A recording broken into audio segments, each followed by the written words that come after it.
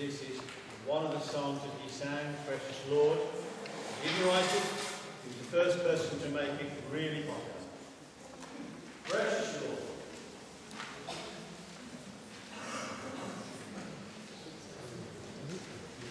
Lord.